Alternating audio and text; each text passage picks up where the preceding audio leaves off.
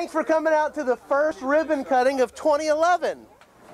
I'm here to introduce you all to Sherri Cooper. She's the owner here of Sherri's Sweet Shoppe, and I'm gonna let you tell, uh, let her tell everybody about herself for a second. But I actually started doing custom cakes, specialty cakes, sculpted, and wedding cakes for friends and family several years ago, and then decided to go commercial.